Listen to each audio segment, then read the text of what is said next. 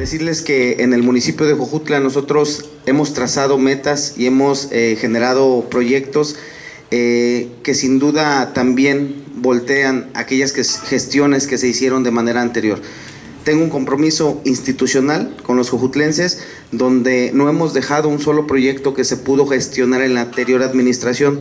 Hoy este proyecto es producto de ello, también lo tengo que, que mencionar donde acertadamente el senador de la República, Fidel de Médicis, eh, pues gestionó un recurso de un poco más de 7 millones de pesos para poder eh, pues generar las condiciones para este centro cultural y deportivo que si bien es cierto se realizan algunas actividades dentro de esta escuela, eh, pues también lo es que queremos que éstas se hagan en mejores condiciones y en un espacio de calidad como lo merece también la gente de Tehuistla. Decirles que nos sentimos pues muy contentos porque estamos eh, hoy ya viendo materializado el trabajo que se realizó de manera anterior y estamos teniendo la oportunidad de traer esta, pues yo diría, inversión a Tehuistla, porque sin duda cada una de las familias que aquí se congreguen, cada una de las personas que puedan estar eh, ocupando estas instalaciones, pues tendrá un beneficio que será en favor de ellos, de sus familias y de la gente de Tehuistla.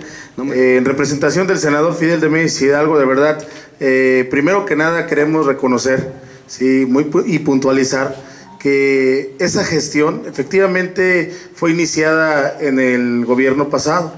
Pero si bien es cierto, quiero reconocerle a mi presidente municipal, eh, Alfonso de Jesús, que si él no hubiese tenido el tino y la decisión de continuar con esa gestión, pues también ese recurso se pudo haber ido, ¿no? De Jojutla. Entonces, de verdad, el mérito sí lo tienes, Alfonso, porque en realidad luchaste por ese recurso y decirte que tenemos toda la intención, más lo, lo digo en representación del senador, de que Jojutla tenga muchísimas obras más y el compromiso de nuestro senador Fidel de México Hidalgo es de que seguirá gestionando para Jojutla gracias a que tiene un presidente municipal preocupado y comprometido con los jojutlenses. Y de verdad es un honor y un orgullo también estar aquí. Muchas gracias y enhorabuena para Tehuisla. Muchas gracias.